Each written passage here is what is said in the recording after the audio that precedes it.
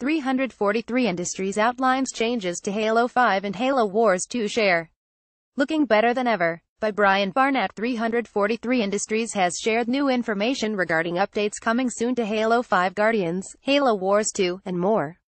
In a recent Halo livestream, 343 announced that Halo 5 is getting an overtime content update in November, which will feature 4K upgrades for Xbox One X owners, updated weapon tuning, and the return of the Oddball multiplayer mode. After the launch of the overtime update, new skins will also be made available. The content update will also see the introduction of the local server app, which will allow Halo 5 players to host a local server on a Windows 10 PC on the same network as Xbox One consoles for low-latency multiplayer matches. Halo Wars 2 will also receive Xbox One X enhancements. In addition, the strategy game will feature crossplay for Xbox One and Windows 10 PC. An Xbox Arena mode will also be introduced, allowing players to organize and conduct their own online tournaments. Xbox Arena launched in May, but Arena and Windows 10 crossplay will come to Halo Wars 2 in late October.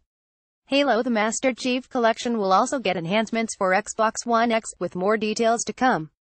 343 also announced the Halo World Championship 2018, which will have qualifiers in Europe, Australia, New Zealand, Latin America, and North America. The HCS Fall 2017 finals will take place this weekend and will be streamed on Mixer and Twitch. Additionally, the Microsoft Store tournament program will be expanded so that every Microsoft Store will host Halo 5 Guardians tournaments starting next month. Tournaments will begin November 6th and end March 2018. Head over to Halo Waypoint for the full list of updates.